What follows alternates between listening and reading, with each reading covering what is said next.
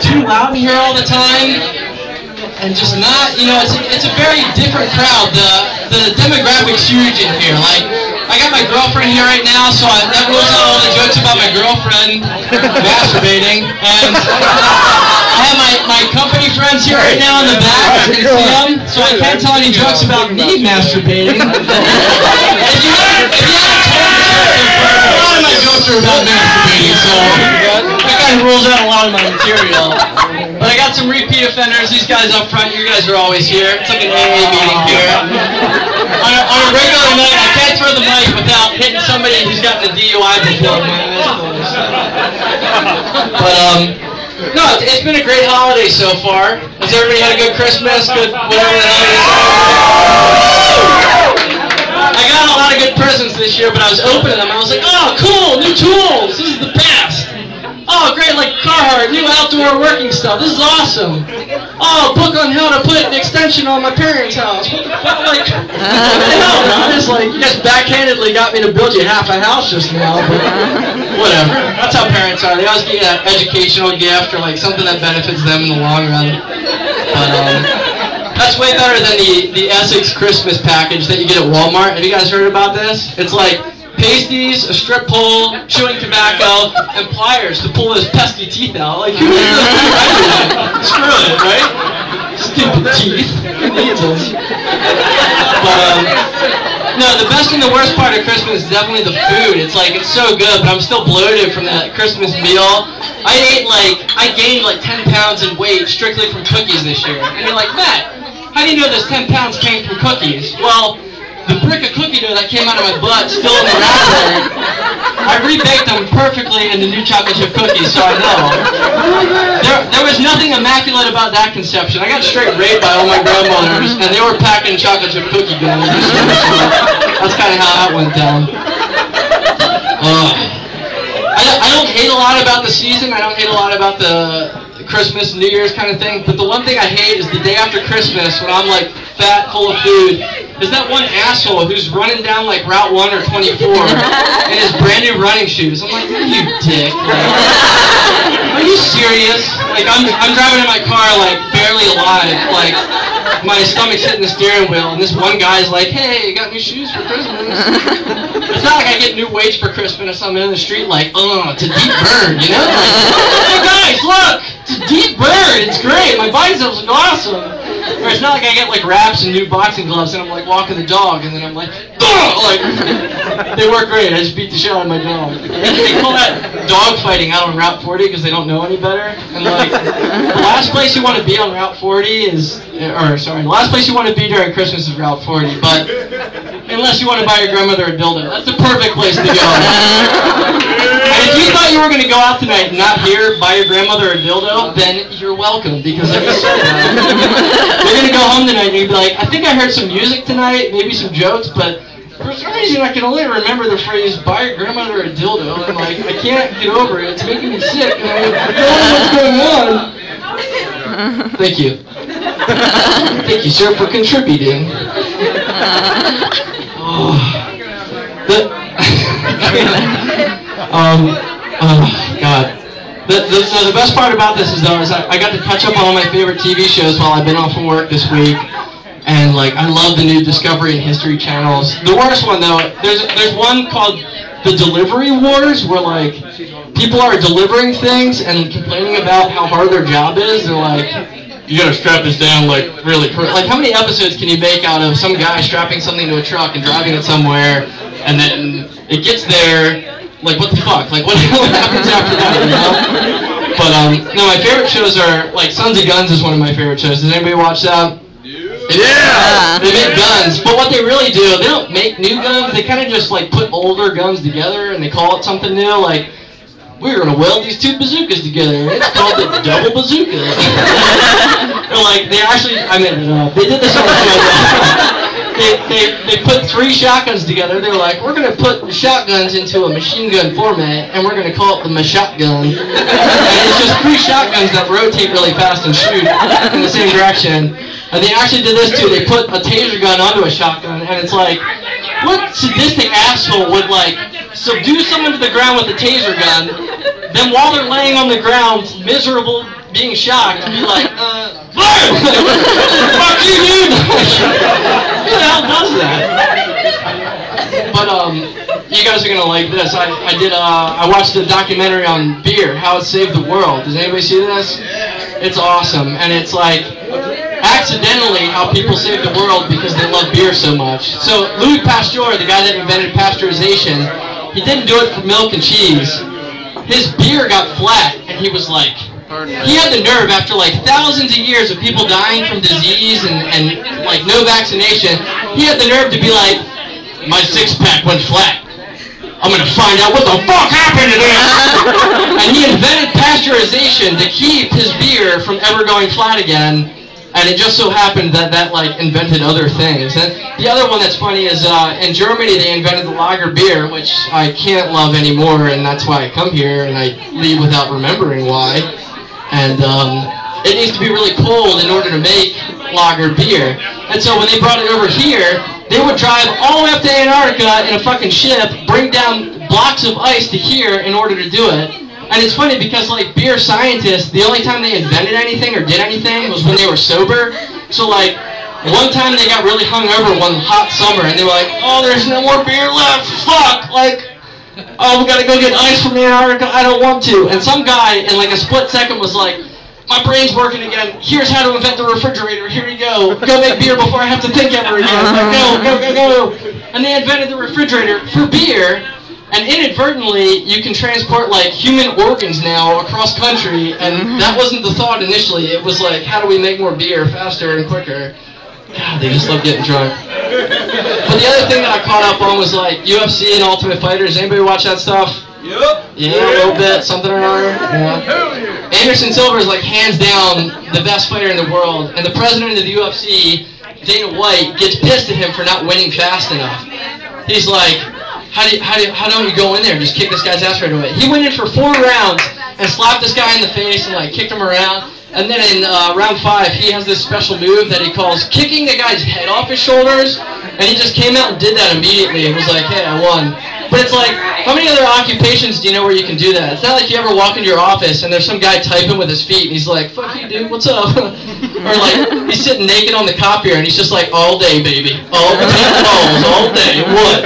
And then at the end of the day, he like hands in his assignment, hands in your portfolio, and hands in like three other people's assignment and just goes, and like does everybody's work for him because he's the best guy there. That's easily my favorite show. There, there's another guy on there that I love too. His name's Nate Diaz. He's like this total punk ass dude, and I really don't like him. I don't like people like that who are just mean. But he comes out and he's always like, Stockton, motherfucker, like Stockton, what? And he just holds his hands up like this, and then like punches people in the face and runs away like this. And if some guy ever came up to me and was like, Bel Air, bitch, what?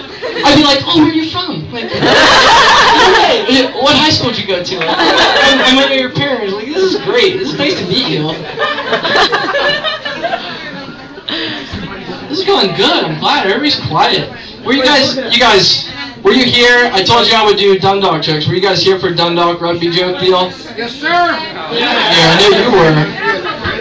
Anyway, well, I'll, I'll do it anyway. It's going really well. Um, has anybody been in a fight How's it before? going, man? Anybody? Wait for you to come back to the participate? bunch. Was it with your, your dad, your brother, a stranger? Who? All of the above?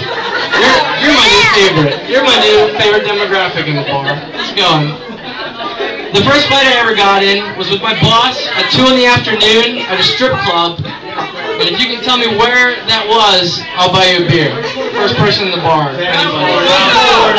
What? Party. Nope. There you go. I was listening earlier. I pretty much gave you the answer earlier. She's a good person. I already got it. Oh.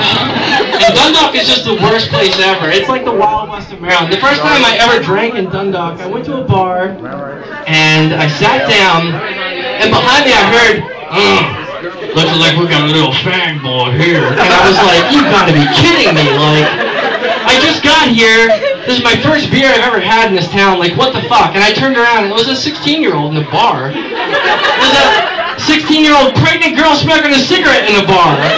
That is not fake. I did not make that up. Uh, apparently, she was flirting with me, is what one of her friends told me. And I was like, that's how you flirt with people around here? So once I figured that out, I kind of played into the whole, like, yeah, I'm gay thing.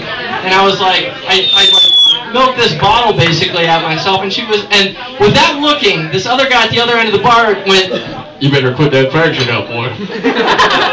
and I was like, you gotta be kidding. Like, what what gay spider senses does this guy have? And he knew that I was jerking a bottle off in front of myself across the room. But I walk, I'm sick of it. I'm being attacked from every angle, so I walk over to this guy, and the bartender grabs my arm before I get there, and she's like, you shouldn't do that. And I was like, why? She's like, that's Crazy Mike. And I said, why do they call him Crazy Mike? She said, because he gets in fights all the time. And I was like, yeah, you get in fights all the time when you're calling, like, guys you don't even know fag at the bar. Like, of course that's going to happen. And she's like, well, he gets in fights all the time, but then he bleeds all over people's mouths and gives them hepatitis C because he's got it. And I was like, what am I? That this guy's using hepatitis C like weaponized as a, as a defense mechanism against other people. And Dundalk is the craziest place I've been. The guys I worked with in Dundalk, they said the craziest things I've ever heard before, and they just have no grammatical anything. And one time they, they would always brag about safety. They would brag about the safety school that they went to, and I was like, I would brag about school too if I didn't pass the sixth grade and then just like left and then took school later. And they'd be like, man, you always got to keep three points on the ladder. You always got to keep three points on the ladder. It's either two hands and a foot or two feet and a hand. And I was like, okay, guys, whatever you say. But then like 10 seconds later, they would like firemen slide down a 40 foot ladder into a pile of shit. And I'd be like, so, like, what part of the safety did you guys not understand? Because you're yelling at me for it. But this one guy, we were digging this hole, it's like 40 feet deep, we were digging with an excavator. And they're like, somebody's got to get down there. And they didn't feel like picking up a ladder. So they put this guy in the bucket and they sent him down there. And I was like, dude, we're going to get in trouble. This guy doesn't have a hard hat on, doesn't have any safety equipment. Like, we're going to get in trouble. And this guy was like, I got this, dude. And he walks over and he goes, Hey Aaron, you feel safe down there? And he looks up and he goes, It always does. Mostly the time. like, what the hell are you talking about? Like that, how did that clear up any of the issues? But once we got to the bottom of that pit, um, we were supposed to be working on this pipe that was down there. And it turns out the entire hole that we dug for four weeks was two feet to the right of where we needed to be. So I crawled back up the ladder and I asked this guy, I was like, what's your deal, man? Like, why why are we off course? You're the instructor here. You're supposed to be doing this right. He literally flips the drawing upside down and goes, oh, shit. oh, man. Fuck. My bad. I was like, what, what other physician, like, could do that ever? It's like, you, if you go to the gynecologist and, like, looking at the drawing, Oh shit. My bad. Different hole. I'm sorry. I'm sorry, guys. My bad. This guy that I worked with, he would say the dumbest shit all the time. But he wanted you to ask him what it was. He would never just say it out loud. So he would be like, "Ha ha!" And like I was gonna ask, and I would never want to ask him. And then he'd be like, "Ha ha!" And I'd be like, "What? What, Billy?" And he'd be like, skinny girls hate me, and fat girls are scared of me. And I know why? And I was like, Billy, why, why are skinny girls, why do they hate you and why are fat girls afraid of you? And he goes, skinny girls know I don't want nothing to do with them. fat girls are afraid of me because they know what I'll do to them. I really, really, really wanted to ask him what that was, but I just said, no, don't do it. He really wants to ask. I'm just going to do it. He's got something ready. Like he's a, he's a work stand-up comic. Like he knows what he wants to say right then and there. Those guys had plenty of lines prepared. We worked in a shit factory, so they kept calling themselves like turd herders and like everything you've ever heard of. Like you think you're funny maybe, and you could be like, huh, I'm a poop smith. Like they're like, fuck you, dude. Like we do this every day. 50% of our work ethic is into making fun of what we do for a living. but um, it feels good. It feels good, guys. Yeah, Pat!